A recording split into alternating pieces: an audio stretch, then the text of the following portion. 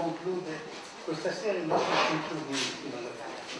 Siamo felicissimi di avere tra noi ancora una volta Massimo Cacciari, il nostro ospite da, da sempre.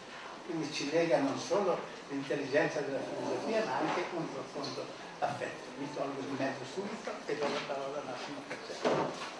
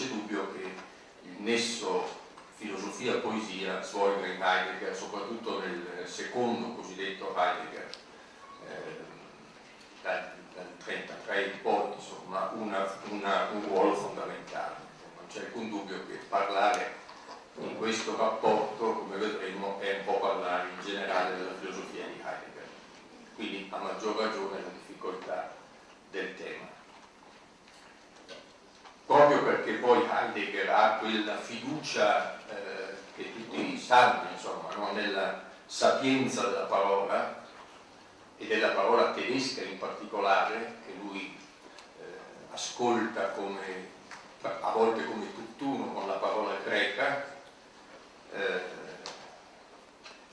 proprio per questo iniziamo con l'ascolto della parola, della parola che qui eh, informa tutto il discorso di Heidegger, cioè la parola poesia in tedesco, su questa Heidegger gioca, gioca, gioca una roba seria, come sapete, eh, più eh, intensamente, cioè la parola Dichtung, che noi traduciamo poesia e vedremo come questa traduzione sia del tutto impropria rispetto a ciò che Heidegger intende con questo termine. Che cosa eh, ci dice la sapienza di questa parola? Dichtung. La radice è una radice ben nota, comune a tutti gli idiomi indoeuropei. Deik, dik deik. Deiknumi in greco vuol dire io mostro, io manifesto, manifesto con l'indice con l'indice, indicando, manifesto indicando. Non è un manifestare qualsiasi, ma è un manifestare indicando, mostrando con l'indice. Ma la stessa radice dei, che in greco dà deiclimi, e cioè mostro, manifesto, indico, in latino dà dicere, dire, che in tedesco si direbbe sagen, dire in latino è sì un manifestare, un mostrare come il tecnico greco, ma nominando, non indicando, ma nominando, parlando. È una, questo il significato di dicere risulta ancora più chiaro se noi pensiamo ad alcune espressioni che eh, derivano da dicere, per esempio dedico, no? dedico rafforzativo di dire mostro solennemente, consacro, non dico soltanto ma dedico, dico eh, in un senso più forte, solenne, viceversa abdico, no? Che vuol dire rifiuto di riconoscere, non mostro, oppure mi sottraggo all'essere visto, dimenticare, andarsene, non essere più mostrabile, non essere più visibile. Queste espressioni dedico, aptico, eccetera, che risuonano anche in italiano, rendono ancora più forte il significato di dicere, no? il significato originario di dicere è molto affine a termini greco. Un mostrare sì con la parola, ma un mostrare appunto che può sia solennemente consacrare come ritirarsi dalla manifestazione. In, in, parole come, in verbi come dedicare, applicare, eccetera, è evidente la sfera sacrale di questo dicere la sfera sacrale e la sfera del diritto. È proprio questa la sfera in cui la forza della radice di take risuona con più intensità. Dov'è che vediamo con chiarezza questa, eh, questa, questa dimensione? pensate a Judex, no? il giudice, colui che dice che mostra, che dice, che dimostra, che fa valere il lo ius. In giudice questo dire, il dire del giudice assume quasi qualcosa di inappellabile, ma inappellabile poiché si connette oltre a quello che noi chiameremo il diritto positivo alla stessa diche, eh? stessa radice, decmi, diche greca, cioè e questa è la relazione essenziale che già ci avvicina alla sfera di pensiero, poi anche heideggeriano. Diche è la manifestazione, cos'è, cos'è Diche? Cosa significa Diche? Diche è il manifestarsi, mostrarsi, manifestarsi di un ordine che informa di sé o dovrebbe informare di sé ogni disposizione giuridica, ogni disposizione politica. No? nesso tra diche come ordine diciamo cosmico e la legge, il nomos, come risuona in Eraclito e in poi lungo tutta la nostra cultura, la nostra tradizione. Il problema, noi diremmo il problema del rapporto tra diritto e giustizia, no? continuamente ripetiamo questa, questo problema, no? ritorna incessantemente, è il problema del diritto e giustizia per noi.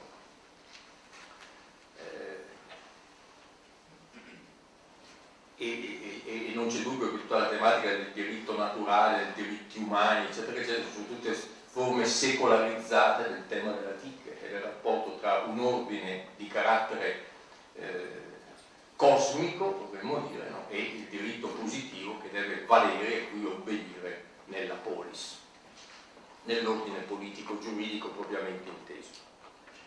Ecco, ma nessun ordine, abbiamo seguito fin qui il discorso, nessun, nessun ordine, nessun dispositivo politico-giuridico potrà mai essere tale da esaurire in sé o da mostrare pienamente in sé, da sé, diche. Qui già subentra appunto un'idea di differenza e che va tenuta ben presente per tutto il discorso che svilupperemo. Potremmo già dire proprio così, ogni disposizione giuridico-politica può solo compiere, rappresentare una, termine eh, heideggeriano, una Erläuterung di Dicke, hm? una illustrazione, una interpretazione della Dicke, ma mai esprimerla pienamente, mai essere una Erklärung, distinzione fondamentale in Heidegger, no? Erläuterung no? sono quelle che Heidegger fa di Hölderlin, non Erklärungen. Mm. Non ci potrà mai essere un Erklärung, una piena illuminazione della Dicke, di ciò che si mostra come ordine cosmico, meta politico, meta giuridico, meta etico, ma soltanto appunto ma soltanto una interpretazione, un'illustrazione una approssimazione, altro termine, una annäherung, altro termine che ritorna spesso in Heidegger, no? una, un avvicinamento. L'Erläuterung è un avvicinamento alla, alla, a, a, ciò che viene detto nella Dicke e vedremo nella Dictung, ciò che, viene, che la poesia dice in quanto Dictung o di ciò che appunto giustizia dice in quanto dice. Ogni dispositivo dispositivo tecnico, giuridico, politico, eccetera, eccetera, ogni interpretazione sarà solo una, un, un, un, tentativo di far luce Erläuterung, mai una, ecco, una spiegazione esaustiva, completa, compiuta. Dictare, da cui dictung, compreso quindi la famiglia linguistica in cui ci stiamo muovendo e che bisogna sempre avere nell'orecchio, dictare è una forma del dire, del dicere. Quale? È un intensivo di dico, un intensivo, una forma intensiva di dicere. In essa si mantiene inalterato il senso originario mani del manifestare, della manifestazione, ma si enfatizza che cosa nel dictare, così come risuona nel, nel senso latino? Cosa, cosa, cosa avviene rispetto a dicere nel dictare? Il senso del manifestarsi con la parola è, è uguale, ma si enfatizza il il manifestare qualcosa con forza ad altri, no? come quando noi diciamo dettare. Io non detto mai me stesso, detto a te. Si, si manifesta questo elemento con forza, un, un indirizzarsi ad altri. Io dico, attenzione, ad alta voce nel dittare, io dico ad alta voce affinché altri ripetano seguendomi. Questa, questa è la forma del dictare. Io dico ad alta voce affinché altri mi seguano ripetendo ciò che io ho detto. Dictato eh, viene da dictare. Chi è il dictato? Chi è il dictato? Che appunto i latini spiegavano come verbo a dictando, che viene dal dictato. Chi è il dictato? È colui che dice dice forte, dice ad alta voce, eh, dice, e il suo editto, editto, editto, dice di nuovo, pronumine sempre osservatum. Spiegano così i grammatici latini. È colui che detta, dice ad alta voce indirizzato ad altri e ciò che dice, il suo editto, è osservato come qualcosa di divino. questo è il dictare latino. Quindi questo ha nell'orecchio Heidegger quando parla di dictum. Tutto, tutti questi significati, tutta questa famiglia di termini risuonano ecco, quando lui scava nella sapienza della parola per tentare di erläuterung, di illustrare il senso della dictum. Per i medievali così anche Dio poteva essere detto sommo dictato, no? Dio poteva essere detto sommo dictato. Gli uomini debbono infatti cosa devono fare? Assolutamente uniformarsi come io sotto dettatura, assolutamente uniformarsi al suo detto. Debbono tentare di ripeterlo perfettamente, senza errore. E infine Dante, da cui deriva poi tutta la sequela che conduce fino a Heidegger, i dictatores illustri che sono i poeti, precisamente i trovatori, coloro che dicono a voce alta, cantano, cantano, il canto, sarà un termine che continuamente ritorna in Heidegger, il canto, la dictum implica il canto, dictum o canto, dictatori illusi sono i trovatori per Dante, cioè coloro che cantano secondo forme, attenzione anche qui, che rendono possibile il ripetere perché quando io ho detto non posso, non posso eh, eh, dire semplicemente, c'è anche una forma del dire nel dettaglio, no? perché devo permettere che l'altro a cui mi indirizzo possa ripetere.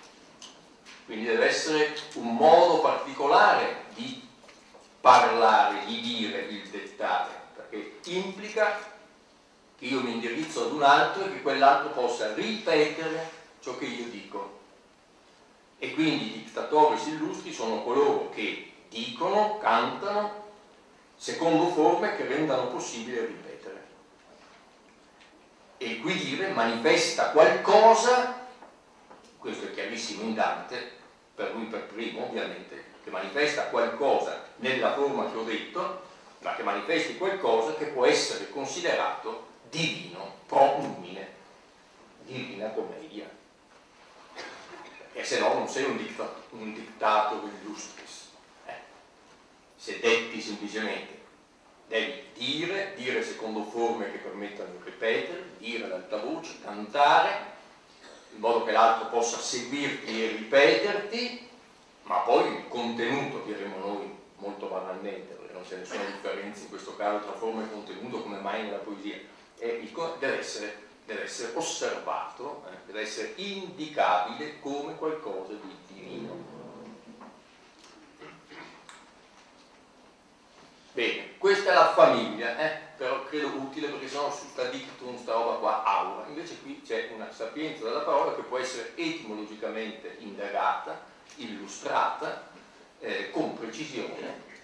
Eh, Heidegger omette tutta questa spiegazione, che è giusto introdurla per capire che non è soltanto auratico il suo dire, no?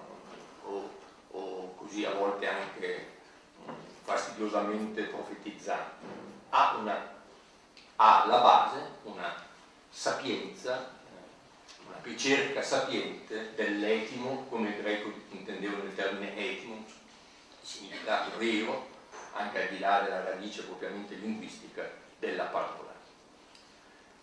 Ora, per Heidegger questo dire che è il dictare, questo dire nella lingua tedesca significa poetare.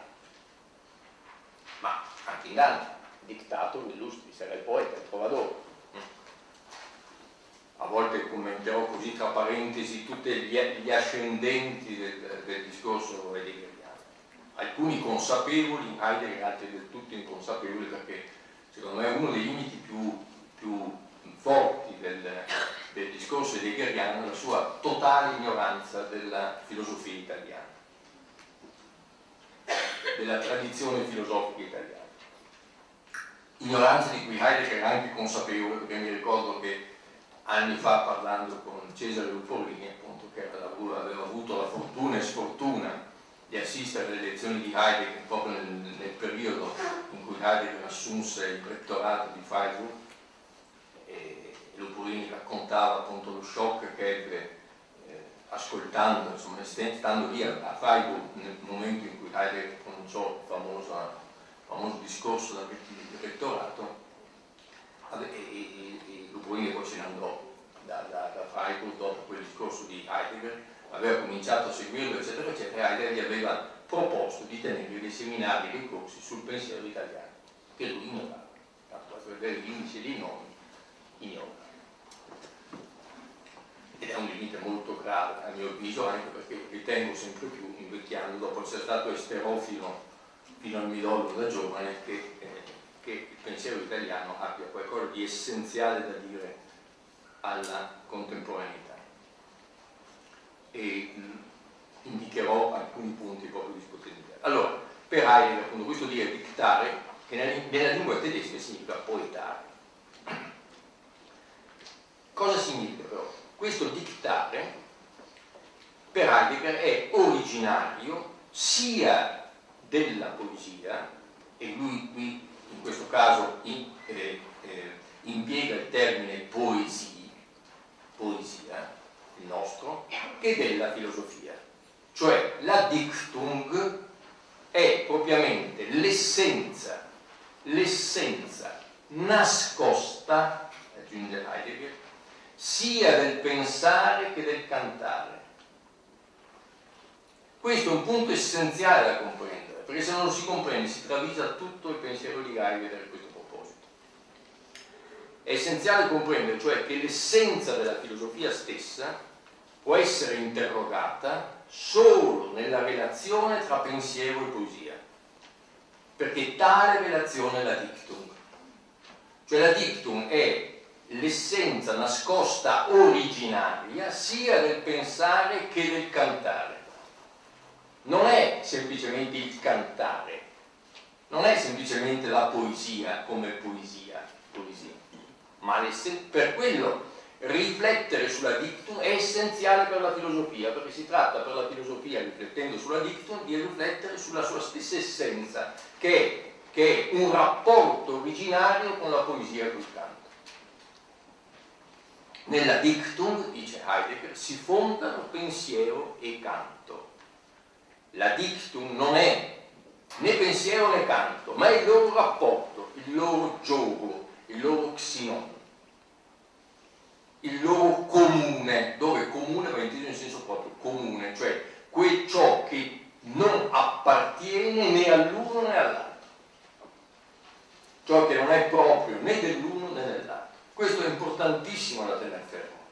Tenere fermo questa idea, cioè della dictum come ciò che aggioga originariamente poesia e filosofia. Il loro rapporto altrimenti si fraintende completamente il pensiero heideggeriano se, se lo si intende soltanto come si intende la dictum soltanto come una, e la ricerca di Heidegger sulla dictum come una, una, una anelante nostalgia del filosofo per la poesia. Non c'è niente di questo, di questo, aspetto così, come dire, tardo e, e, e, e romantico e spuriamente anche romantico ci insisto su questo perché quasi sempre viene equivocato così, viene parafrasato così perché eh, la maledizione del, del, del, del discorsi sul, sulla dictum in Heidegger è che quasi sempre si tratta di testi parafrastici, parafrasi, che cercano di fare il verso, anche agli aspetti oscuri del, del, del linguaggio della terminologia Dunque dictum non è propriamente nessun poetare,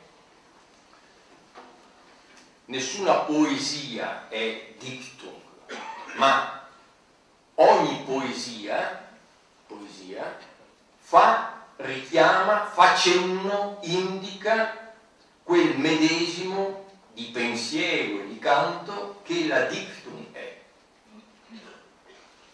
Questo è il problema. La dictum propriamente non è mai questa determinata composizione, non potremmo dire questa è una dictum. Non si dà mai come questo poema, questo poema, questa cosa fatta, poiesis, poema, questa cosa determinata fatta. Sia poesia che filosofia provengono dalla dictum e sono in questa comune archè e sono da questa comune arché, da questa origine, comandati arché, no? significato greco di arché, origine ma un'origine che comanda, un'origine che destina sempre, no? non un'origine cronologica che resta lì, un'origine che informa continuamente in ogni momento il divenire successivo. E sono da questa comune arché appunto indirizzati, direi proprio indicati cioè la loro storia è segnata dalla dictum, la storia di filosofia e poesia è segnata dalla dictum. Che cosa significa questo? In che termini dobbiamo pensare questo appunto al di fuori delle mitologie? In che termini? La dictum è l'unità. Heidegger pensa la dictum come l'unità originaria del dire che canta trattino che pensa, il dire originario, che è insieme ancora l'unione, il gioco, eh, lo xinone, il comune di canto e pensiero, è la dictum. È la lingua di questa unità la dictum, la lingua di un'unità originaria di, del dire che canta e del dire che pensa, che rimangono due, ma indistinguibili nel loro essere comune. La lingua di questa unità è questa archilingua, diciamo, la dictum. La dictum è propriamente questa archilingua, questa lingua del dire che canta, del dire che pensa, che comanda la Geschichte, il destino successivo. Che cosa dice questa archilingua, che è la dictum? Dice l'esserci nel suo esporsi al mondo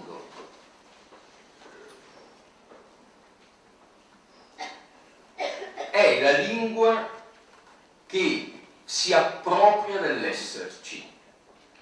non la lingua fatta, poiesis, questa lingua, questo artificio che rimane la, questa determinata poesia, che è un artificio, arte.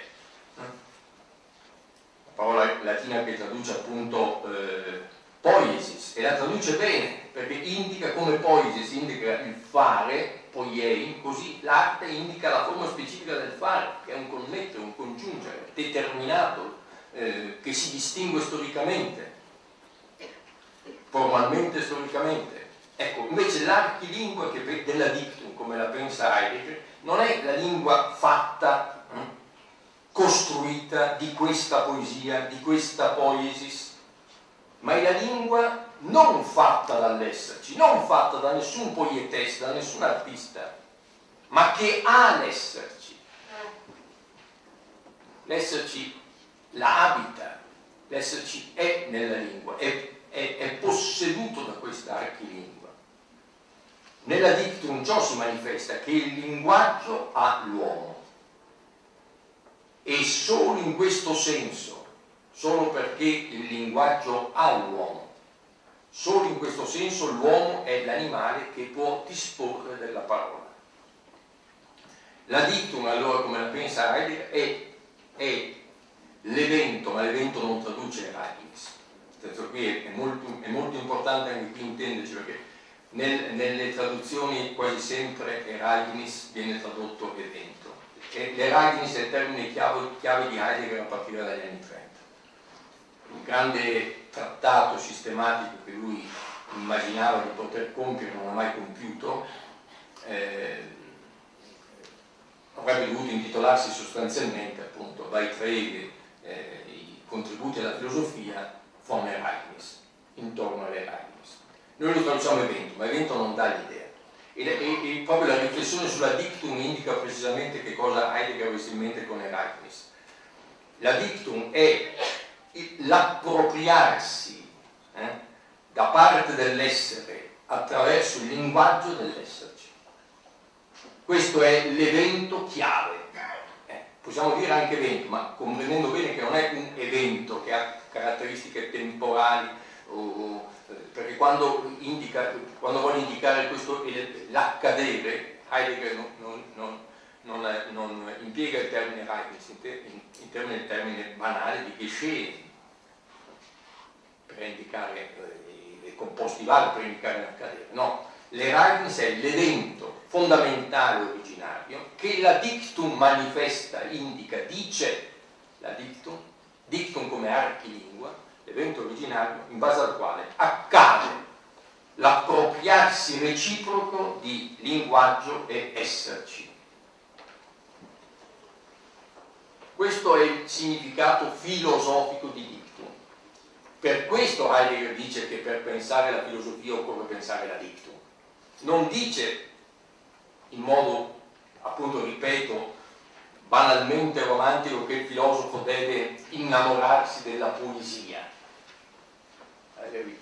Cioè, il filosofo va in cerca, ricerca di illustrare Erleuti con questa archilingua che, che lui chiama, Heidegger chiama dictum che non è propriamente nessun canto specifico e nessun pensiero specifico, ma è l'evento, e Ragnis ho spiegato in che termini, no? l'evento dell'appropriarsi di linguaggio e esserci, o meglio ancora, quell'evento in base al quale il linguaggio ha l'uomo. Questo è fondamentale tenerlo presente perché poi quando vedremo appunto che la dictum propriamente vi mostra come noi non abbiamo a disposizione il linguaggio ma tutto questo ragionamento che andremo a fare ha questo presupposto sistematico, per così dire. Allora è chiaro che nessuna poesia, come nessuna forma di pensiero, potranno mai manifestare tale Eragnis. Il discorso che abbiamo fatto prima per la Diche. Nessuno potrà manifestare nel senso della Erklärung questo Eragnis. Rimane l'essenza nascosta di ogni canto e di ogni pensiero ma nessuna poesia e nessun pensiero specificatamente, nessuna forma discorsiva specifica potranno mai essere, cioè potranno mai manifestare pienamente e compiutamente quell'evento. potranno ricordarlo.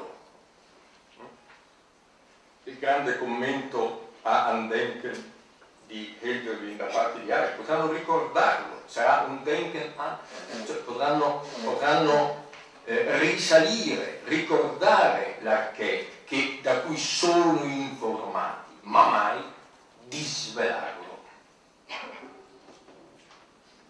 Ma, attenzione, se non sapranno, se ogni poesia e ogni forma del pensare non sapranno eh, mostrare, dictare, dicere, non potranno mostrare, non potranno fare indi, mostrare che fanno, che indicano quella che è quell'artilingua, cioè se non sapranno mostrare, indicare la loro relazione con questo rapporto originario tra il dire che canta e il dire che pensa, non saranno né poesia né pensiero. Cosa saranno? Saranno prosa e metafisica.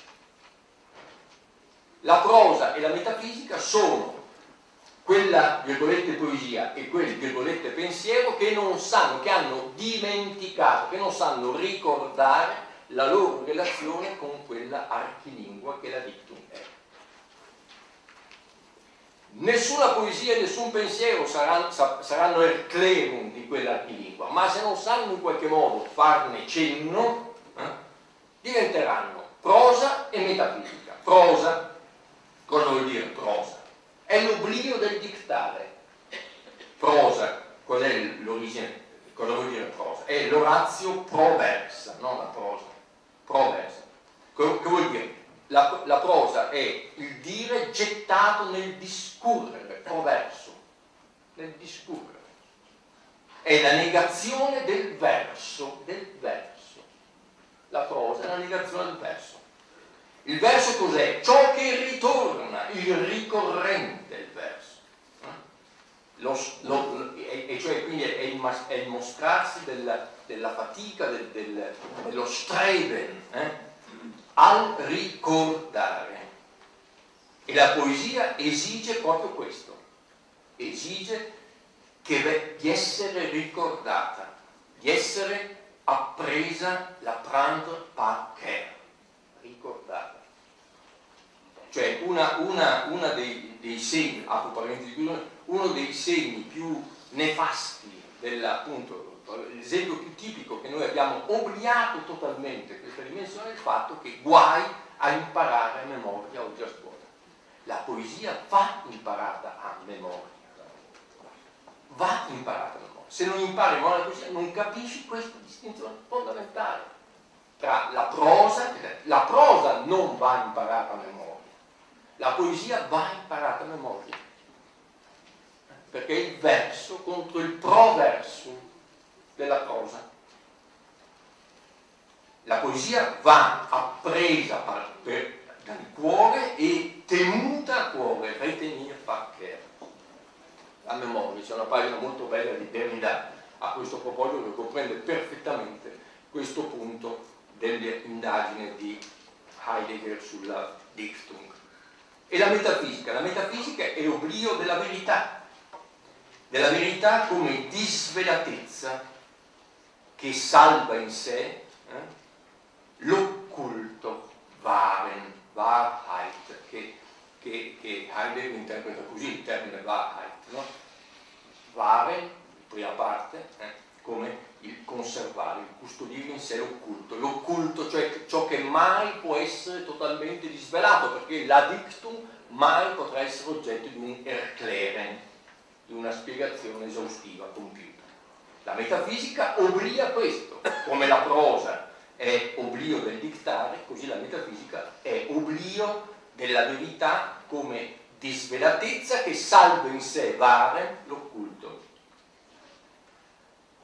in questo senso specifico che salva in sé la filosofia, la vera, la vera filosofia, il vero pensiero, salva in sé il pensiero, diciamo meglio, perché ormai filosofia a un certo momento per Heidegger diventa equivalente a metafisica.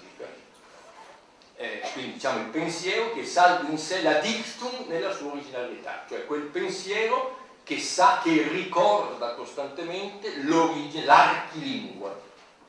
L'archilingua. Non vi viene in mente nessun italiano a questo proposito? È ricco. È ricco. È assolutamente ricco. Eh. Prima della filosofia, no? Laboria dei filosofi, che credono di poter svolgere il loro discorso in termini autoreferenziali, ma dimenticano che prima di loro c'è appunto la, un'archilingua, prima ancora i, bestioni. E, e, e, se dimentichi questo, dimentichi la tua archè, non dimentichi una cosa qualsiasi, dimentichi la tua archè. Nella tua lingua dimentichi l'archilingua che continua a informarti e che può ogni volta ritornare, ripetersi.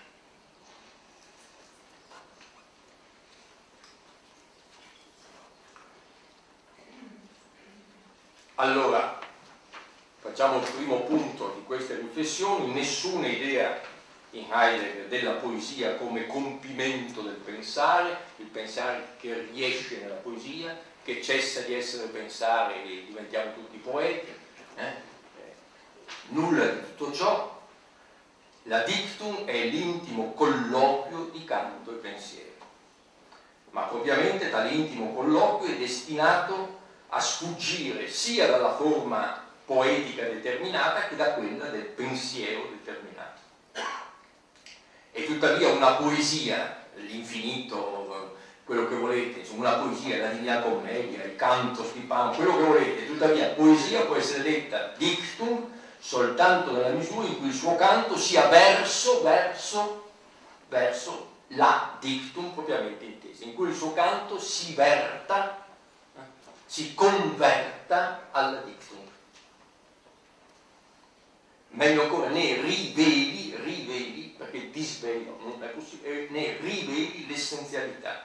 E la filosofia è tale e non è metafisica, è pensiero, e cessa di essere filosofia trattino metafisica, nella misura in cui sappia indicare, far memoria dell'originario Gespräch, dell'originario colloquio tra canto e pensiero non si darà mai dictum in sé, non, non sarai mai di fronte ad un oggetto determinato che puoi dire è una dictum. Questo è anche il senso dell'interpretazione di Heidegger. Heidegger è colui che ha indicato la dictum, ha indicato il problema della dictum. L'interpretazione della dictum di Heidegger, più che altro l'interpretazione di, di, di Heidegger come il cantore della dictum, il cantore, il verso della dictum. E allora non si darà mai dictum in sé, ma da essa, dalla dictum, si dà pensiero poetante e poesia pensante. Il termine poesia pensante è nicciano. Molte delle cose che sto raccogliendo derivano anche dall'enorme libro di Heidegger, secondo me il suo capolavoro dopo essere il tempo, che è il Nietzsche pubblicato anni 60, libro straordinario e poderoso. Molte di queste, molte delle riflessioni di Heidegger intorno alla poesia derivano anche dalla riflessione intorno, diciamo così, all'estetica di Nietzsche. Ecco, dalla, dalla dictum, mai eh, oggetto di Erclero, derivano pensiero poetante, il pensiero che fa oggetto che si, che si, dà come problema suo essenziale quell'archilingua che è la dictum, e poesia pensante, quella poesia che in sé pensa il problema dell'archilingua della dictum. Per, per Heidegger il, il, il, lo straordinario è Hölderlin, perché in Hölderlin vi vede in qualche modo insieme pensiero poetante e poesia pensante. Ma appunto se, se noi riflettiamo su questo comprendiamo che anche per Heidegger poi non ci possa essere nessuna poesia pura. Questo è molto importante, no? questo, questo, aspetto della, della, riflessione sulla dictum in Heidegger. No? Credo che occorra riprenderlo, perché se noi lo svolgiamo come cerco di svolgerlo io, allora siamo sempre di fronte ad un ibrido, ad una contaminazione. L'idea della poesia pura, no? quanto, quanto povera, quanto astratta, quanto e così come di un pensiero che possa essere pensiero tutto formalizzato e che possa fare a meno di svolgersi per immagini, per figure. ogni pensiero in qualche modo è poetante, ogni poesia è pensante. E, e di volta in volta occorre determinare le forme di questo ibrido, di questa contaminarsi, alla luce della dictum, perché altrimenti diventa appunto minaccia di cadere in cattivo pensiero, cattiva letteratura. Vi è una tensione appunto in questo colloquio, no? è una tensione dalla poesia attraverso il pensiero alla dictum e dal pensiero riflettendo sulla poesia alla dictum ancora. Un equilibrio difficile, mai perfetto, diceva Coleridge a proposito proprio del metro e dell'importanza del metro. Una benefica lotta il metro, una benefica lotta. Dunque, dictum è un rapporto questa è, la prima, è un rapporto, non è questa cosa qui, è un rapporto. Quindi nessuna mitizzazione della vita. Dobbiamo pensare a un rapporto, un rapporto originario, un'originaria dualità di inseparabili, come abbiamo visto. E quindi il loro stesso progressivo distinguersi, che per Heidegger è, attenzione, il destino della nostra cultura, il, il progressivo separarsi la progressiva impotenza a ricordare questo gioco originario, per Heidegger certamente è un destino. Ma lo stesso progressivo distinguersi di queste due dimensioni è reso possibile dal fatto che c'era questa comunanza, se no non si potrebbe nemmeno parlare di distinzione. Noi possiamo renderci conto, pensare la distinzione e poi aggettivarla come vogliamo, ma non importa, diventa questione di gusto può piacere o non piacere, ma non importa. Possiamo pensare il distinguersi di poesia e pensiero soltanto alla luce del loro, del, del loro comune, del loro comune, del loro sinonimo, del loro colloquio originario. In quel colloquio canto e pensiero non sono lo stesso mai, mai. Ma si coappartengono cioè nella dictum rimane pensiero e canto, ma rimangono nel loro coappartenersi. Accade, Eragnis, il loro coappartenersi, ma rimangono due. Non è un uno che si sdoppia poi, è chiaro? Cioè, pensiamo di non c'è un'unità originaria che chiamiamo dictum che poi si sdoppia misteriosamente, come, come il problema neoplatonico di come dall'uno i molti. Non è così. Originariamente c'è pensiero e canto. Nel loro coappartenersi, ma si appartengono i due. E questo rende possibile poi il loro separarsi perché originariamente non c'è un uno, allora mistero, com'è che l'uno si sdoppia com'è che dall'uno i molti, no. Heidegger non pensa assolutamente in questi termini neoplatonici. La sua è proprio una filosofia che contraddice ogni possibilità enologica. Cioè questo, l'Eragnis non è l'unità originaria di pensiero e canto, è il colloquio originario di pensiero e canto, a cui nelle loro forme specifiche tendono sia pensiero che canto, poiché all'origine vi è questo colloquio, il colloquio poi in ogni momento, poi in ogni momento venir meno, venire meno, e per questo è sommamente pericoloso, no? il colloquio, come dice Heidegger proprio commentando Hegel, è sommamente pericoloso perché nel colloquio implicita sempre in ogni momento la possibilità che il colloquio cessi, non del fraintendersi soltanto, ma proprio che cessi il colloquio, che venga meno il colloquio. Allora il poeta, il poeta come lo intendiamo noi, quello che scrive poesie, il poeta è colui che vuole, è un eros in questo, no?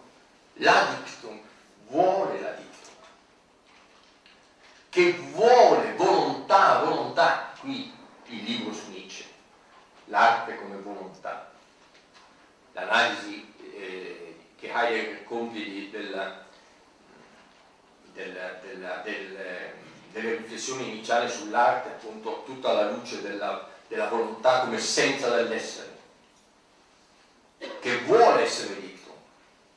È una volontà di arte che per Heidegger in Nietzsche diviene l'espressione somma della volontà di potenza. Ma perciò, e qui non so quanto Heidegger abbia tratto questa conseguenza, ma avrebbe dovuto dovrebbe trarla,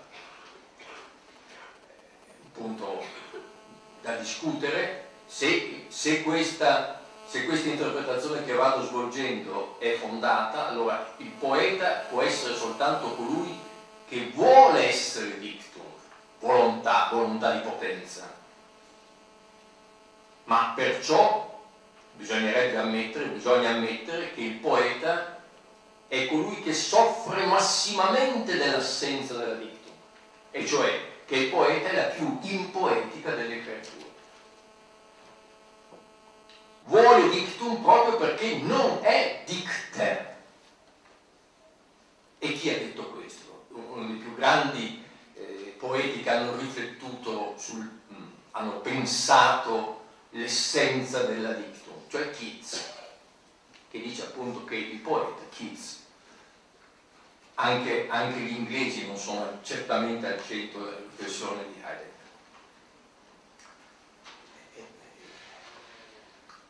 è la conseguenza inevitabile. Il poeta, che è colui che esplicitamente mostra, dice, di, dictare, dice di voler essere dictum, di voler attingere, di voler ricordare, andenken, quel, quel gioco originario che è la dictum, quel colloquio originario che è la dictum, proprio perché vuole questo e la sua volontà di poter rappresentare, mostrare la dictum, è, è, è la più impoetica delle creature.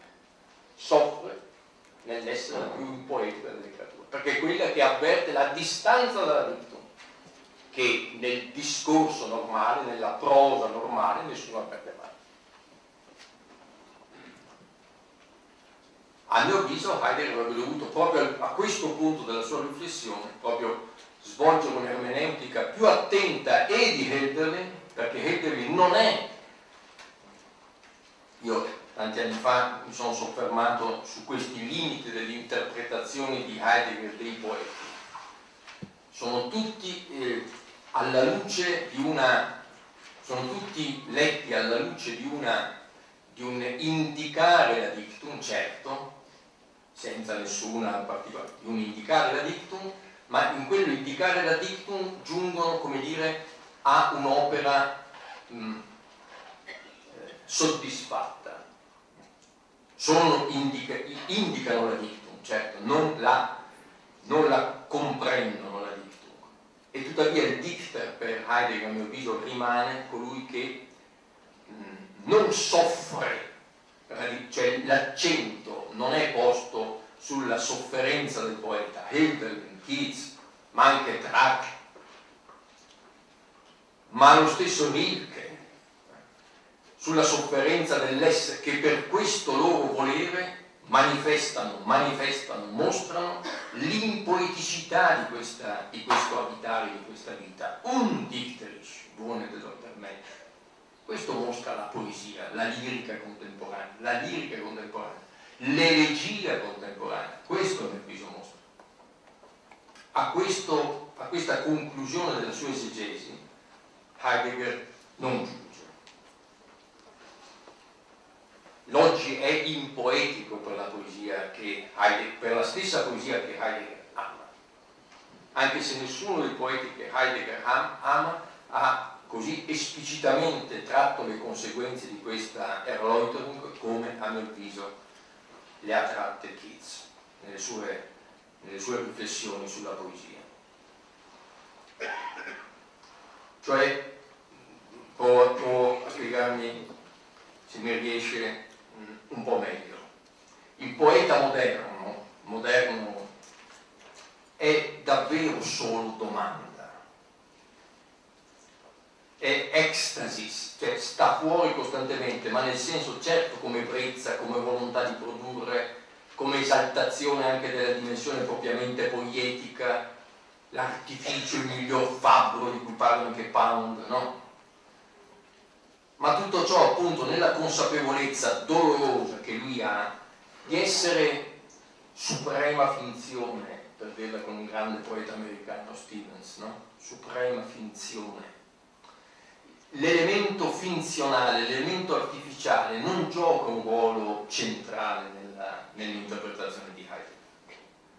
Heidegger lo vede soltanto alla luce della volontà di potenza dell'arte, della volontà di arte come somma volontà di potenza, ma poi quando analizza le poesie alla luce della dictum, questo elemento, che io definirei propriamente tragico, della lirica, dell'elegia contemporanea, a mio avviso viene, viene perduto. Questa dimensione per cui la poesia è forma del distacco dalla dictum, è un ricordare la dictum che mette, mette, in mostra, mette in mostra costantemente il distacco dalla dictum, mette in mostra costantemente l'undicterisch del, del nostro abitare.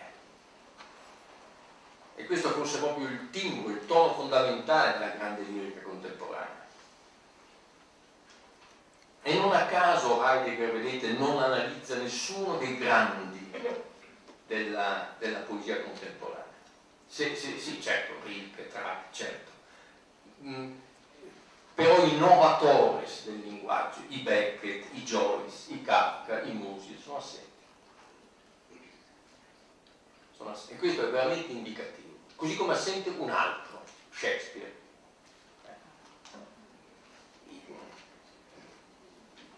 Cioè il linguaggio che in Beckett, secondo me è l'autore decisivo per capire, per capire il destino dell'arte. No? Quando dice, noi dobbiamo usare no, i mezzi della impotenza, il rovesciamento dell'arte come volontà di potenza.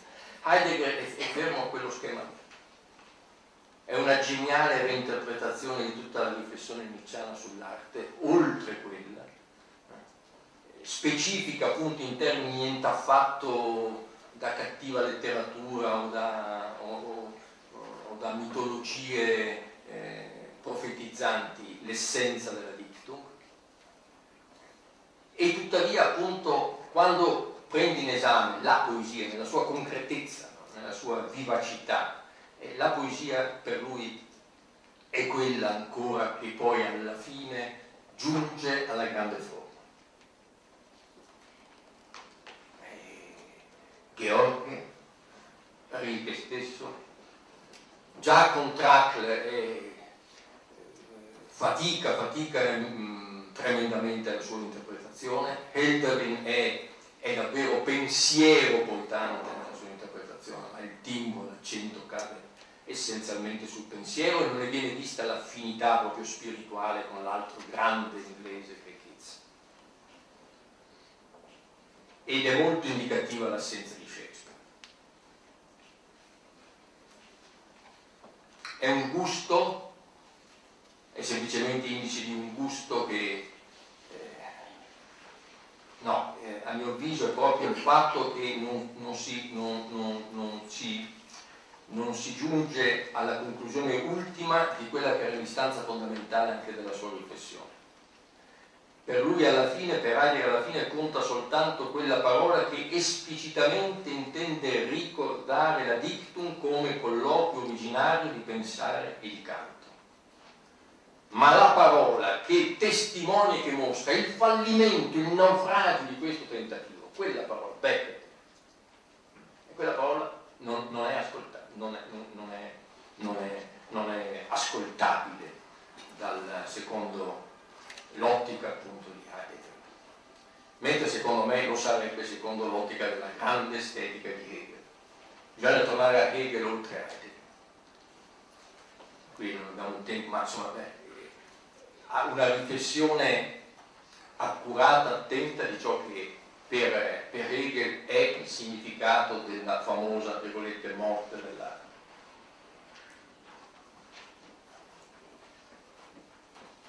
per Heidegger conta la poesia nella quale sia in gioco lui, in cui lui possa indicare la Wahrheit, no? la verità, come ciò che custodisce, custodisce. E, e laddove la poesia invece mostra di non poter più custodire l'impotenza, i mezzi dell'impotenza con cui dobbiamo operare, dice, dice Becker dopo Joyce, e lì la sua interpretazione cade sua interpretazione della poesia non ha gli strumenti fondamentali per interpretare una poesia dell'impotenza. Questa è la mia idea, naturalmente, tutta da, da discutere nella verità. Non ha i mezzi per indicare il, il, come il linguaggio dell'uomo dell'uomo contemporaneo sia un bene perduto. Non ha i mezzi per indicare il rapporto non tanto tra il linguaggio della poesia e quella dictum che non potrà mai essere perfettamente disvelata, che quindi ha in sé sempre una dimensione del silenzio. Custodisce anche il silenzio, si custodisce anche il silenzio, no? perché quella dimensione originaria non potrà mai essere detta integralmente. Quindi certo che anche in Heidegger la poesia, il dicere è connesso intimamente al silenzio, ma questo lo può dire nella sua interpretazione, ma ciò che non può dire nella sua interpretazione è il silenzio successivo, per così dire. No? Non il silenzio originario, eh, che, che fa tutt'uno con lo stesso dire, che è elemento del dire, come la pausa è elemento della musica. No? Ma il, il, il giungere al silenzio, il farsi silenzio nella poesia. Celan, eh, quello, quello, è, quello, non, eh, quello quel, quella, quel destino, quella Geschichte della poesia, per cui riesce nel silenzio, quello non può essere, a mio avviso, illustrato. Questo sommo pericolo non può essere illustrato. Per Heidegger il sommo pericolo è soltanto quello che il colloquio finisca, ma cosa significa che il colloquio finisce? La possibilità che il colloquio finisce. Pericolo vero del colloquio è appunto il suo farsi silenzio, non il silenzio che è intimamente connesso al colloquio perché un colloquio deve presupporre il silenzio, esattamente come la pausa, come la musica presuppone la pausa, è evidente, per colloquiare mentre tu parli io taccio,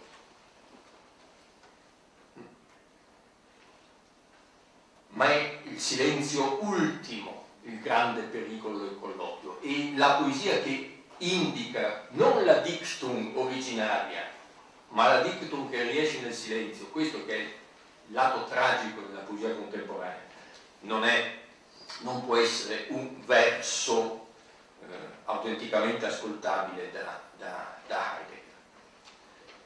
E tuttavia nel discorso di Heidegger una cosa è rimane assolutamente fondamentale, che è implicito in tutto quanto abbiamo detto, cioè che questa, questo rapporto tra poesia e dictum, termine che abbiamo detto, ci comunica, e questo è l'elemento fondamentale su cui Heidegger continuamente ritorna, ci comunica questo, ci comunica che la parola, la parola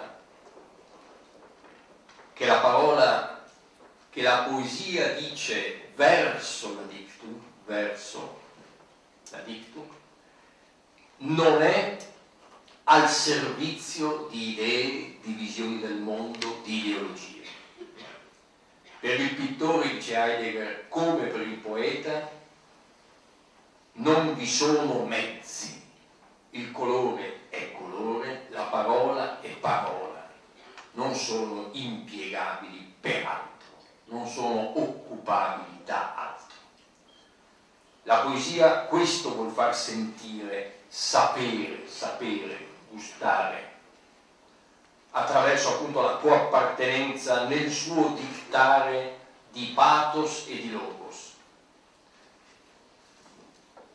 Questo vuol far sentire, che la parola come per il pittore il colore, non è un mezzo, che noi vi apparteniamo, non che loro sono cose a nostra disposizione,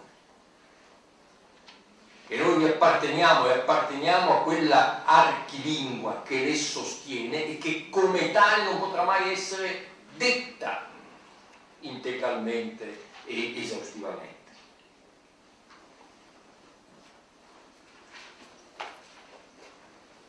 Questo è il punto fondamentale su cui Heidegger costantemente ritorna ed è quello che dobbiamo tenere fermo.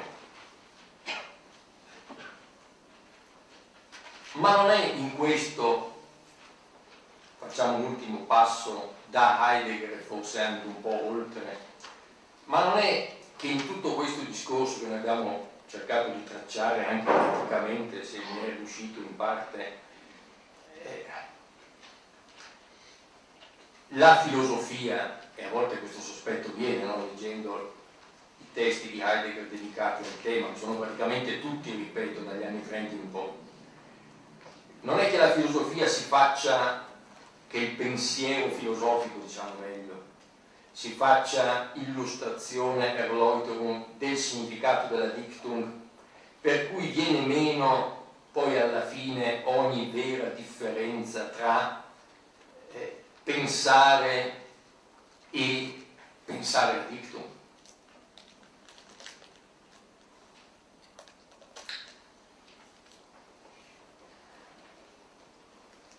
La filosofia, il pensiero filosofico, abbiamo detto, non è dictum perché è interrogazione della sua parola. Dice Heidegger, non è la parola della dictum, il pensiero filosofico, però è Antwort, è diciamo la parola che risponde alla chiamata al Wort che la dictum esprime, mostra. Quindi dice Heidegger la differenza sarebbe in questo, che il poeta è la parola, la parola che indica, indica la dimensione della dictum. Mentre il filosofo è antwort a questa parola. Spiega, spiega Erläuterung, questo indicare da parte della poesia la dimensione della vita.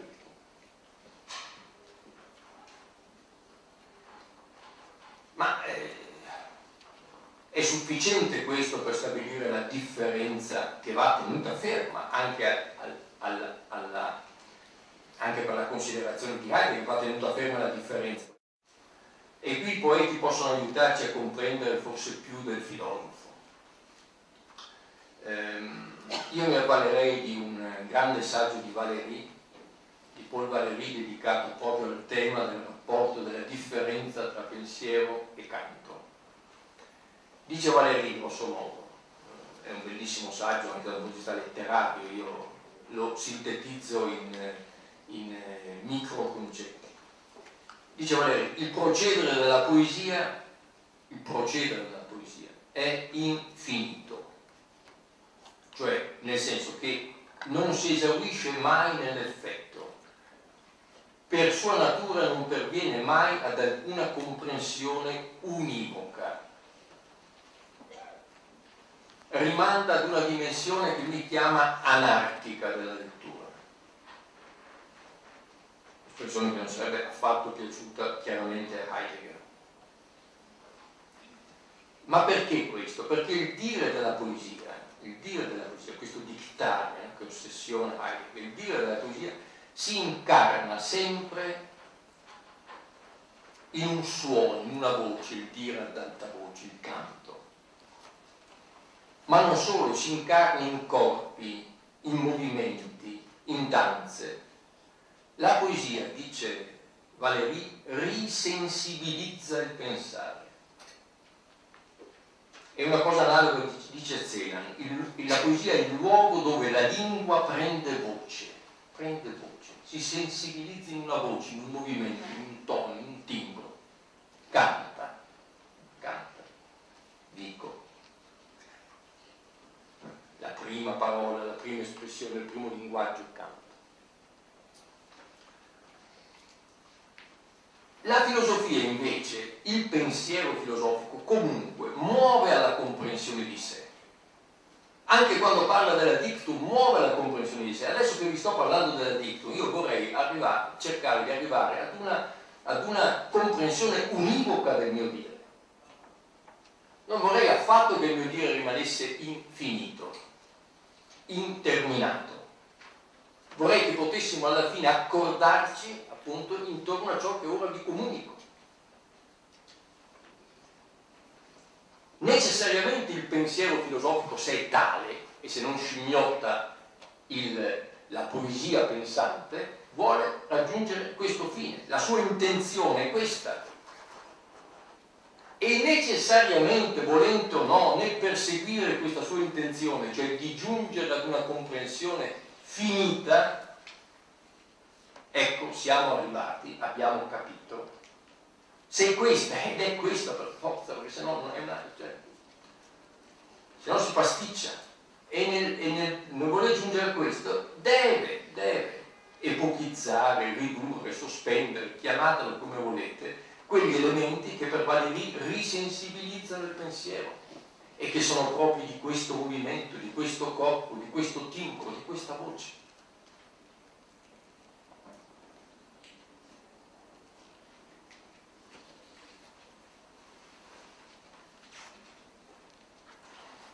Certo che tale riduzione dell'elemento corporeo o sensibile del pensare non è mai perfetta, lo sappiamo. Sappiamo, la fenomenologia contemporanea ha ben spiegato appunto come, come non vi possa essere una, un pensiero puro. Ma, ma mentre la poesia non persegue il fine, non persegue il fine della della interpretazione dell'aeronautico definita, perché per sua proprio la sua intenzione invece è quella appunto di suscitare sempre nuove comprensioni e questa non può essere l'intenzionalità del pensiero filosofico.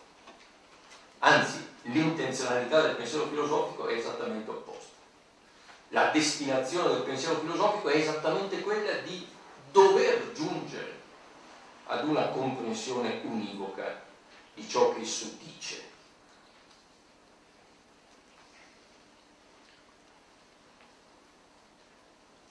E per questo della poesia appunto può esservi solo Erläuterung. Allora ci, ci, ci, comprendiamo anche perché della poesia possa essere, della dictum possa essere solo Erläuterung.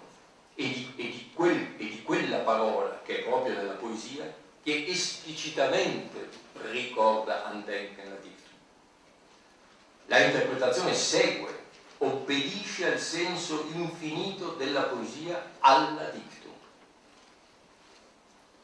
Infinito è anche l'approssimarsi del pensiero filosofico alla dictum, ma esso ha luogo, questo approssimarsi, attraverso idee che debbono poter essere viste, considerate e comprese a priori dal tono, dal timbro, dal corpo del linguaggio. Devono poter essere considerate anche in sé, devono poter essere considerate anche ad una lettura silenziosa. Tema fondamentale in Agostino del passaggio dalla lettura ad alta voce che implica il verso, che si avvicina necessariamente al canto, alla lettura silenziosa.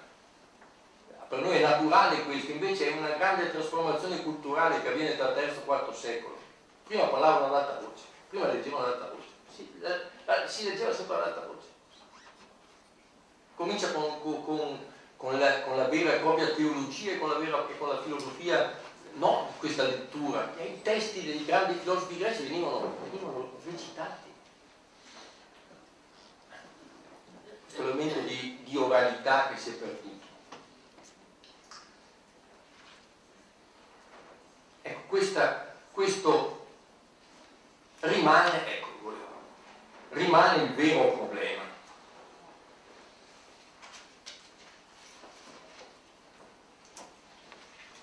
Rimane il vero problema. Il vero problema che la poesia solleva nei confronti, proprio la poesia solleva nei confronti del pensare e, e, e che, e che è presente in anche io lo sviluppo di nuovo a modo mio, ma insomma è un elemento che, che, che riprendo da lui insomma, e dalla riflessione intorno sue, ai suoi scritti. E qual è il vero problema che la poesia eh, impone al pensare?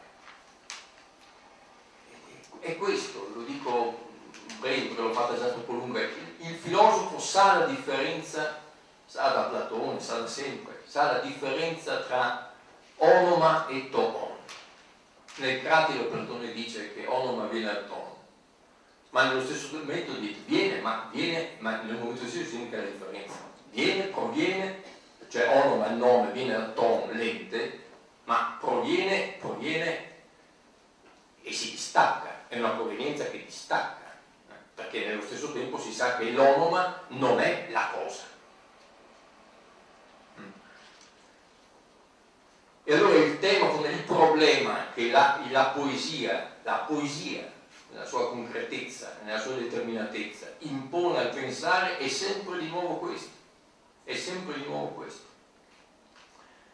E cioè sentiamo, sentiamo, sapere, sentire, sapere, sentire, che il linguaggio ha una relazione con la cosa che il pensiero non può esprimere.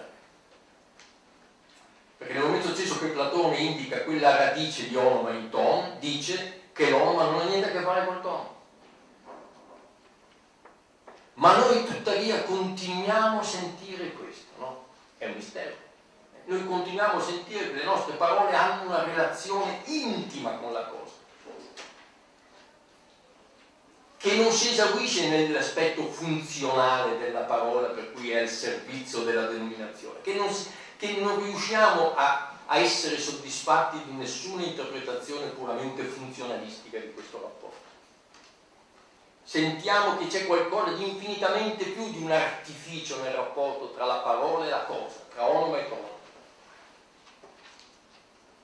Rapporto che appunto nel cratico Platone tratta quasi ironicamente Ecco, non è questo che fa sentire, non è questo che la poesia sente, che sa che il pensiero poetante, la poesia pensante sa e che impone come problema alla, al, pensiero, al pensiero filosofico. Nella poesia noi sentiamo che quel nome è davvero simbolizzato alla cosa questo Heidegger l'ha trattato in particolare nella sua Erläuterung lyrica, no? e nella sua Erläuterung soprattutto delle Udinesi.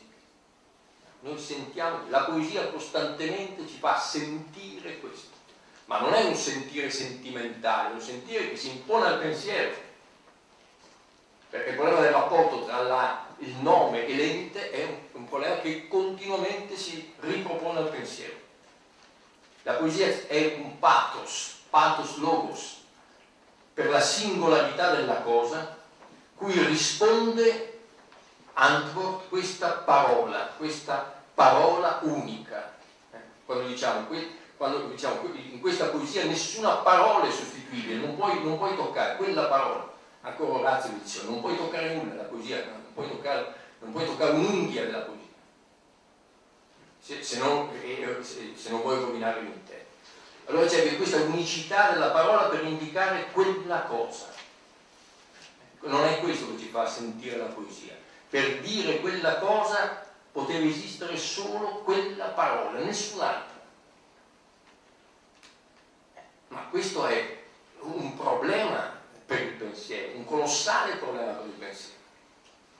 Come mai si dà questo? Come mai si dà una dimensione, diciamola pure, la dictum o ciò che è verso la dictum? O il poeta verso la dimensione in cui, in cui noi avvertiamo così, così intensamente, così direi inappellabilmente questo, che il nome ha un rapporto essenziale di affinità con la cosa.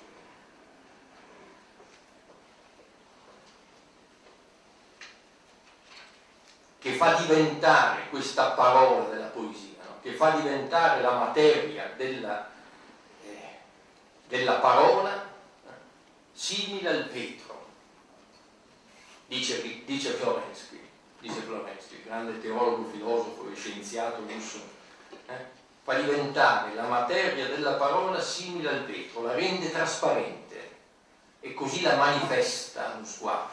Eh?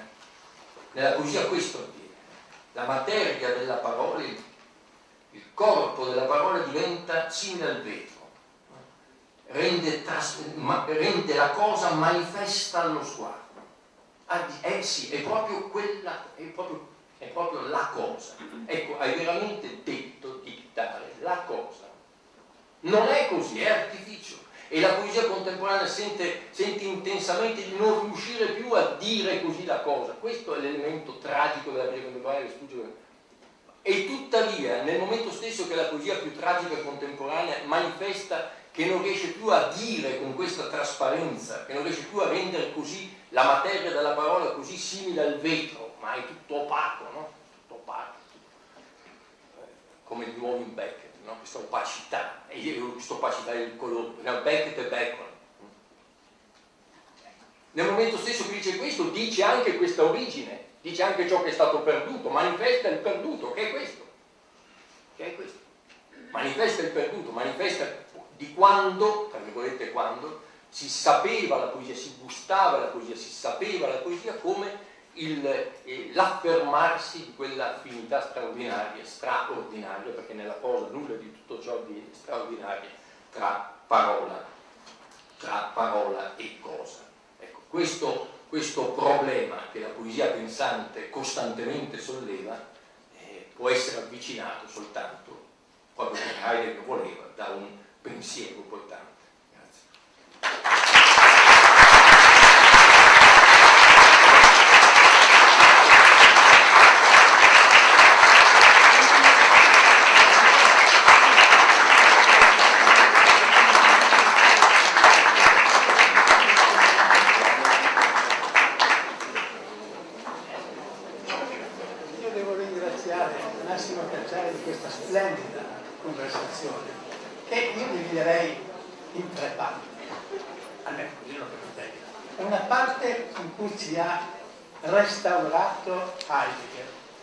Nel senso che c'è un Heidegger di senso comune che dice una serie di cose di superficie auratiche, ma invece Cacciari ha avuto la forza intellettuale di restaurare un Heidegger. Poi, la seconda parte, dimostrare come Heidegger, con il suo apparato, in realtà sulla poesia, sulla poesia concreta, la poesia realmente esistente, in realtà Zwicky non, non riesca. Terza parte della conferenza è Cacciari, è il suo pensiero. Terza parte della conferenza è il suo pensiero. Quindi è ricchissima, no? ricchissima di una quantità enorme di dimensioni, dimensioni tematiche. Quindi uno può interrogarsi su Heidegger, può interrogarsi sul modo in cui Heidegger secondo me riesce bene solo con Herder con Oettinger riesce proprio bene, con gli altri a me pare che riesca meno. E, e poi il pensiero di Cacciari che in ultima analisi vede la poesia, diciamo, gli ultimi due citati sono nella pittura Bacon e nella poesia, teatro, letteratura Bacon. Questi sono i due punti, eh, i due, i due punti focali che sono però, secondo l'analisi di Cacciari, io sono perfettamente d'accordo con lui, eh, che sono estranei, sono esterni, sono del tutto esterni all'esperienza di Heidegger. E non di Hegel. E non di Hegel perché la, la, la morte della forma romantica dell'arte, dove romantica non vuol dire la poesia romantica, vuol dire l'arte che è sostanziale, che ha sostanza. Che è verità. È verità. Quando tu dicevi alla fine il nome è la cosa, bene, è la sostanza. Hegel è la sostanza, cioè un'arte che parla della sostanza, mentre l'arte contemporanea, quella non riesce più a parlare della sostanza. E tuttavia in Heidegger tutto questo apparato teorico formidabile che a me pare, non vorrei banalizzare, pare una grandiosa invenzione di metafora, una straordinaria invenzione metaforica.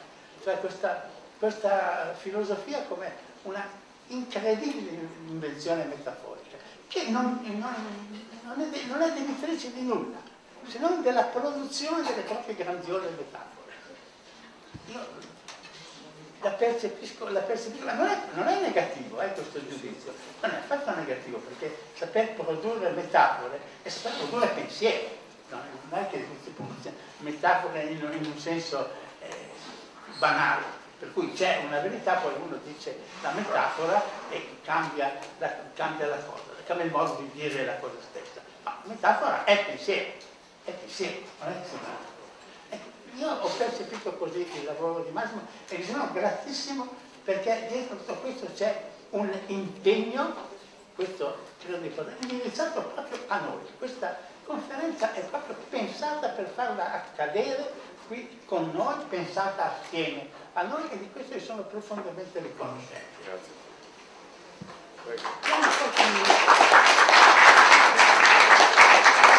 Abbiamo, abbiamo un quarto d'ora, se qualcuno ha da chiedere qualche cosa. Una domanda, chiamiamola di natura filosofica, non sono addetto ai lavori.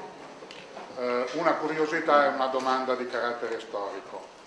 La domanda filosofica è, in fondo, oh, il pensiero che ci ha illustrato non è una cosmogonia, è una riflessione eh, approfondita eh, su dei temi eh, fondamentali, ma eh, mi pare ha un rapporto anche per non andare al neoplatonismo con la cosmogonia giovannea, cioè in principio era il verbo e il verbo era Dio e poi Dio si è fatto carne, eccetera, eccetera.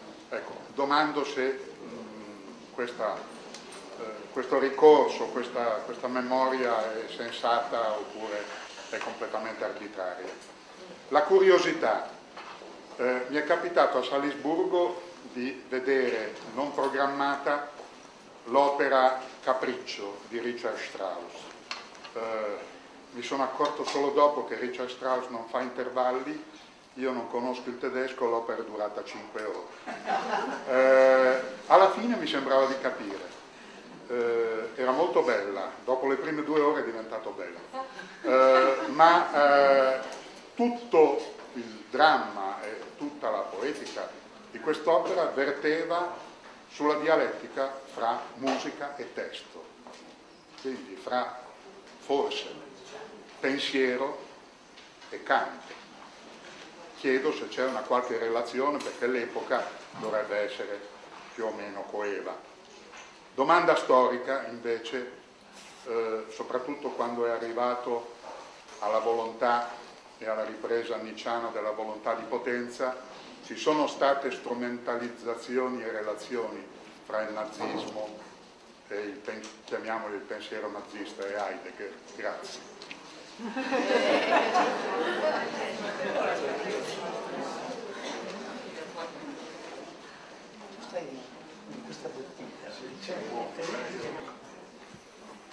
il rapporto tra eh, parole e cose è un rapporto essenziale,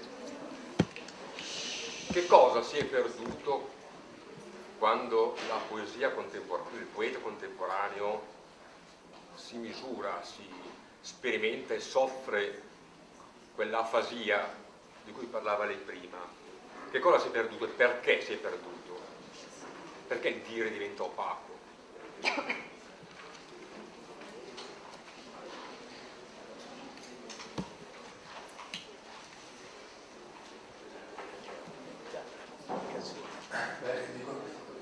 Hai ragione Fulvio, cioè, l'anima metaforizza sempre, diceva tutti. Chiaro, anche il lavoro del concetto è nel, nel, nel, nel trasporre un termine nell'altro, nel tentare di approssimarli, di accomunarli, che cos'è? Non è una metafora. L'anima metaforizza sempre. E, e, e questo fa Heidegger, eh, a volte in modo preciso. Eh, attraverso quella precisione del pensare per me irrinunciabile, per cui io, io, la mia intenzione è rivolta ad una, a giungere ad una comprensione univoca. Eh, e certissimamente questa non è l'intenzione del poeta. Il poeta è suscitare interpretazione, suscitare ricerca, suscitare. In questo senso il poeta fonda. Heidegger lo, lo, lo individua, poi non, secondo me Heidegger proprio non ha mm, mm, direi proprio l'attenzione la, anche filologica eh, eh, critica necessaria a aggiungere, a, a, comprendere la determinatezza del fatto dell'artificio poetico. Tuttavia ci dà delle indicazioni fondamentali per capire come ho cercato di mostrare la differenza tra prosa, verso, eccetera, eccetera. Quindi indicazioni fondamentali ma che rimangono quasi sempre da questo punto di vista indicazioni di metodo rispetto poi ad acchiappare la poesia, a vedere il quadro. No? Molte volte sono anche grandi cadute evidenti di gusto nella, quando guardo un quadro, quando, quando leggi una poesia. E d'altra parte questo è poi. Ecco, l'unico grande filosofo che veramente è straordinario da questo punto di vista, cioè che non ne sbaglia una neanche come critico, diciamo, è Hegel di. Quello è, Hegel di quello è veramente formidabile, no? l'estetica di Hegel. E, e, però Heidegger riconosce questo, o nota che, che, lo riconosce con grande onestà, è la grande estetica del, eh, dell'Occidente, quella di Hegel per Heidegger, lo riconosce esplicitamente, e, e soprattutto nel Nietzsche lo riconosce e riconosce in pieno il suo debito rispetto all'estetica hegeliana. Quindi qui non, non, siamo di fronte, come nel caso di Vico, di una certa tradizione dell'umanesimo, quello che io amo chiamare l'umanesimo tragico italiano, da Alberti a Machiavelli a Leopardi, eccetera, eccetera, di fronte a un, fenomeno di ignoranza. Tutt'altro. Riconosce l'importanza. Ecco, allora, eh, il, questo mi, mi collega immediatamente all'ultima domanda. Ecco, che, cosa, che cosa vede eh, Hegel sostanzialmente? Al di, là del, al di là del suo inquadramento sistematico, ma vede un fatto essenziale, vede che proprio il proprio dell'arte contemporanea, eh, vorrei dire, dimentica intenzionalmente quel timbro della verità come vare Haidt, come vare, custodire, conservare, rammemorare sempre, ma in questo rammemorare è, è evidente che è necessaria la grande forma. È perché nella poesia, come la intende, la intende Heidegger, vi è la poesia che incessantemente tende a farsi dictum, a ricordare l'archilingua, ma vedete la poderosità di questo apparato, appunto no? I, grandi, i, i, grandi, canti, i grandi inni esterliniani, no? o, o, o, la poesia tutta pensante e, e, e, quasi filosoficamente organizzata delle Luminesi, eh, che, che, puoi, che, puoi, davvero anche tradurre in una sorta di, di saggio filosofico. Ma che cosa vede Hegel? Vede che attraverso il gioco dell'ironia romantica e la crisi dell'ironia romantica, è proprio questo l'aspetto che via via caratterizza sempre più l'arte contemporanea e non lo vede necessariamente in negativo, dice vai, lì non è più lì la verità, non è più lì la verità, non è più Wahrheit lì. Quello è, quello è la forma in cui si mostra, in questo senso intesa la morte dell'arte, che è stata costantemente travisata. Questo, quella è la forma in cui nel contemporaneo si farà memoria costante della morte della morte. Questa è la morte dell'arte, la morte dell'arte non è intesa come l'arte che non c'è più arte, ma Hegel non ha mai detto questa stupidaggine. Ha detto che l'arte diventa l'arte del morire. L'arte, eh, l'arte diventa la forma in cui eh, va in crisi l'idea di verità, che viene salvata, pare di nuovo, dalla filosofia. E che se tu vuoi avere a che fare con la verità, devi fare il filosofo.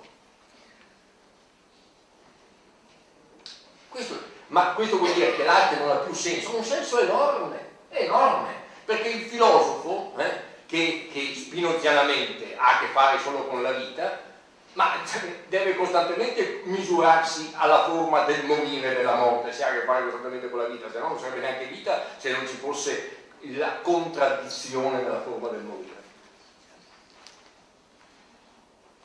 Questa dialettica che è essenzialmente hegeliana non c'è in Heidegger. di quale filosofia ha bisogno? Una filosofia che ci riconduce all'oralità, una filosofia che riporta la dimensione dialogica platonica, cioè una, una filosofia dove c'è il contraddittorio, dove si riesce ad intervenire. Il Gespräch di Heidegger non è la, questa contraddizione che mette Hegel, proprio una contraddizione tra la dictum, il dire della dictum e il dire che è il dire filosofico. Il Gespräch di Heidegger alla fine assume un significato sì, certo, il Gespräch è sempre aperto alla possibilità del naufragio, ovvio, ma in sé, quando non naufraga, il Gespräch è, è, è, un, un Ereignis, un può appartenersi. Invece non è così il Gespräch hegeliano. Il Gespräch hegeliano alla fine assume veramente una tonalità tragica. E l'ultima, e l'ultima forma dell'arte per, per Hegel, profeticamente, qual è l'ultima? È il comico. L'ironia. No, no, l'ironia è quella romantica che ancora mette in campo l'io e la potenza dell'io, ma alla fine la, la dimensione propria dell'arte sarà il comico, dice, tornerà Aristofane. L'arte che mostra che cosa? Il dissolversi di ogni ethos, il dissolversi, di ogni, il dissolversi del dialogo in fraintendersi. Quello sarà la dimensione propria dell'arte. Il comico. Ma è profetico questo, perché io ne esco perché è bello. È, prof- è veramente profetico, cioè l'estetica hegeliana è veramente profetica. Io direi di, di lasciarci qui. Invece no,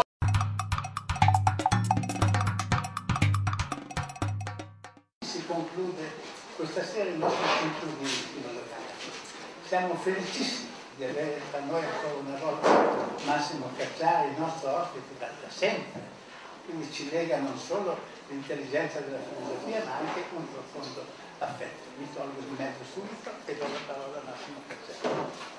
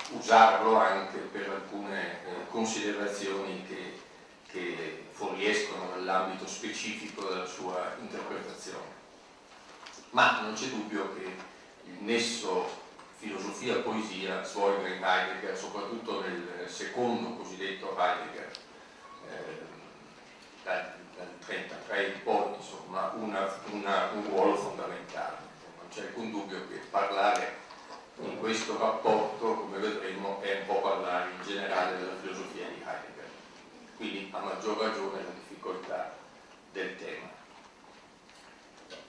Proprio perché poi Heidegger ha quella fiducia tecnico-giuridico, politico, eccetera, eccetera, ogni interpretazione sarà solo una- un, un- un tentativo di far luce a Reuterswald, mai una, ecco, una spiegazione esaustiva, eh, completa, compiuta. Dictare, da cui dictung, compreso quindi la famiglia linguistica in cui ci stiamo muovendo e che bisogna sempre avere nell'orecchio, dictare è una forma del dire, del dicere. Quale? È un intensivo di dico, un intensivo, una forma intensiva di dicere. In essa si mantiene inalterato il senso originario della mani- del manifestare, della manifestazione, ma si enfatizza che cosa nel dictare, così come risuona nella- nel senso latino? Cosa, cosa- cosa- cosa avviene rispetto a dicere nel dictare? Il senso del manifestarsi con la parola è, è uguale, ma si enfatizza il manifestarsi, il manifestare qualcosa con forza ad altri, no? come quando noi diciamo dettare. Io non detto mai a me stesso, detto a te. Si, si manifesta questo elemento con forza, un, un indirizzarsi ad altri. Io dico, attenzione, ad alta voce nel dictare. Io dico ad alta voce affinché altri ripetano seguendomi. Questa, questa è la forma del dictare. Io dico ad alta voce affinché altri mi seguano ripetendo ciò che io ho detto. Dictato eh, viene da dictare. Chi è il dictato? Chi è il dictato? Che appunto i latini spiegavano come verbo a dictando, che viene dal dictare. Chi è il dictato? È colui che dice dice forte, dice ad alta voce, eh, dice, e il suo editto, editto, editto, dice di nuovo, pronumine sempre osservatum. Spiegano così i grammatici latini. No? Ecco lui all'essere visto, no? abdicare, andarsene, non essere più mostrabile, non essere più visibile. Queste espressioni dedico, aptico, eccetera, che risuonano anche in italiano, rendono ancora più forte il significato di dicere, no? il significato originario di dicere molto affine al termine greco. Un mostrare sì con la parola, ma un mostrare appunto che può sia solennemente consacrare come ritirarsi dalla manifestazione. In, in, parole come, in verbi come dedicare, applicare, eccetera, è evidente la sfera sacrale di questo dicere la sfera sacrale e la sfera del diritto. È proprio questa la sfera in cui la forza della radice di Deik risuona con più eh, intensità. Dov'è che vediamo con chiarezza questa, eh, questa, questa dimensione? Beh, pensate a Judex, no? il giudice, colui che dice che mostra, che dice, che dimostra, che fa valere il ius. In giudice questo dire, il dire del giudice assume quasi qualcosa di inappellabile, ma di inappellabile perché si connette oltre a quello che noi chiameremo il diritto positivo alla stessa diche, eh? stessa radice, decmi, diche greca, cioè e questa è la relazione essenziale che già ci avvicina alla sfera di pensiero, poi anche hegeliano. Diche è la manifestazione, cos'è, cos'è Diche? Cosa significa Diche? Diche è il manifestarsi, mostrarsi, manifestarsi di un ordine che informa di sé o dovrebbe informare di sé ogni disposizione giuridica, ogni disposizione politica nesso tra Diche come ordine diciamo cosmico e la legge, il nomos, mm, come risuona in Eraclito e da Eraclito in poi lungo tutta la nostra cultura, la nostra tradizione. Il problema, noi diremmo il problema del rapporto tra diritto e giustizia, no? continuamente ripetiamo questa, questo problema, no? ritorna incessantemente, il problema del diritto e giustizia per. Eh,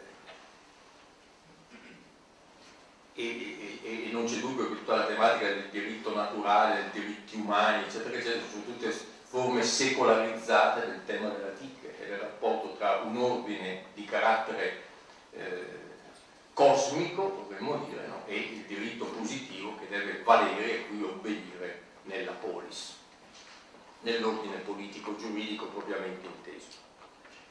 Ecco, ma nessun ordine, abbiamo seguito fin qui il discorso, nessun, nessun ordine, nessun dispositivo politico-giuridico potrà mai essere tale da esaurire in sé o da mostrare pienamente in sé, da sé, diche. Qui già eh, subentra appunto un'idea di differenza e che va tenuta ben presente per tutto il discorso che svilupperemo.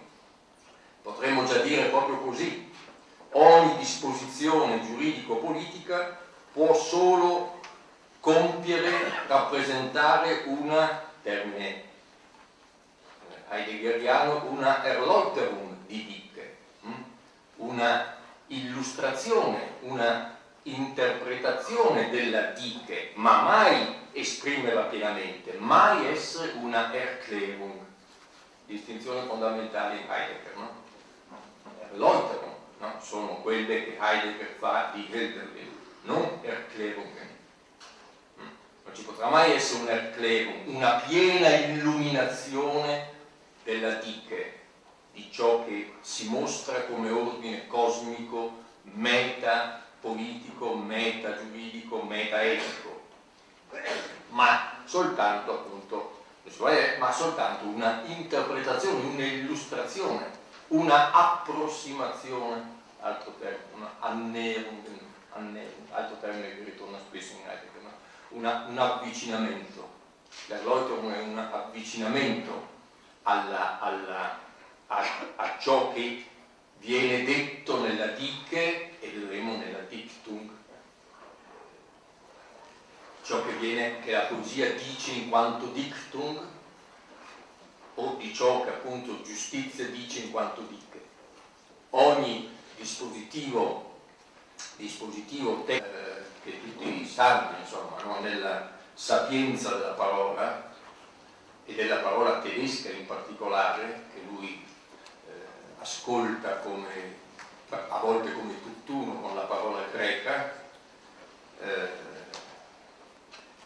proprio per questo iniziamo con l'ascolto della parola, della parola che qui eh, informa tutto il discorso di Heidegger, cioè la parola poesia in tedesco, perché su questa Heidegger gioca, gioca, gioca una roba seria, come sapete, eh, più eh, intensamente, cioè la parola Dichtung, che noi traduciamo poesia, e vedremo come questa traduzione sia del tutto impropria rispetto a ciò che Heidegger intende con questo termine che cosa eh, ci dice la sapienza di questa parola? Dichtung. La radice è una radice ben nota, comune a tutti gli idiomi indoeuropei. Deik, dik deik. Deiknimi in greco vuol dire io mostro, io manifesto. Manifesto con l'indice, eh, con l'indice, indicando. Manifesto indicando. Non è un manifestare qualsiasi, ma è un manifestare indicando mostrando con l'indice. Ma la stessa radice deik, che in greco da deikimi, e cioè mostro, manifesto, indico, in latino da dicere, dire, che in tedesco si direbbe sagen. Dire in latino è sì un manifestare, mostrare come il tecnico greco, ma nominando, non indicando, ma nominando, parlando. è una, questo il significato di teacher risulta ancora più chiaro se noi pensiamo ad alcune espressioni che eh, derivano da teacher, per esempio dedico, no? dedico, rafforzativo di dicere, mostro solennemente, consacro, non dico soltanto ma dedico, dico eh, in un senso più forte, solenne, viceversa abdico, no? che vuol dire rifiuto di riconoscere, non mostro, oppure mi sottraggo